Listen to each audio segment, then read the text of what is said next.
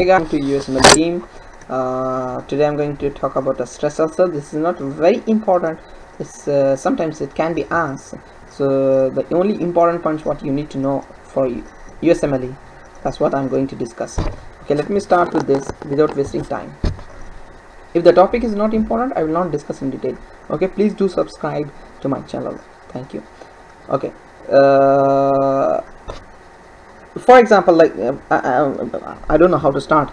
Okay let me tell you. If the patient is admitted because of the head injury severe trauma uh, burns multiple organ failures they if they complain of severe epigastric pain or drop in hematocrit think of uh, stress ulcer.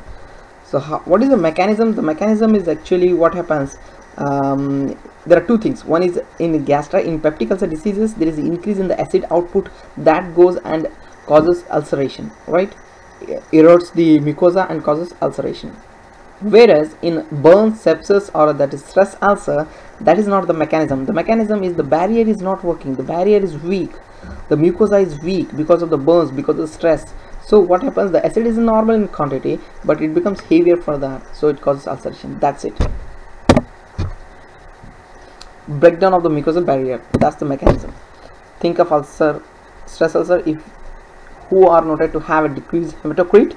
If the patient admitted in the hospital and second day he complains of uh, decrease in the hematocrit severe epigastric pain and you are not giving ppi and the patient is not on ppi think of stress ulcer.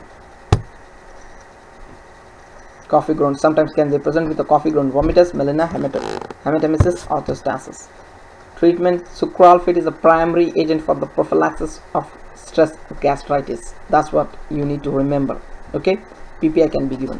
Thank you so much for watching my video